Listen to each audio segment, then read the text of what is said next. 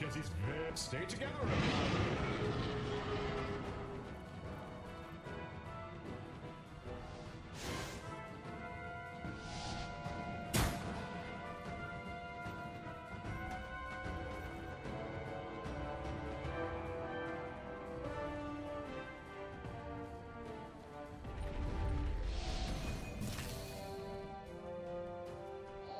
It is I, Dr.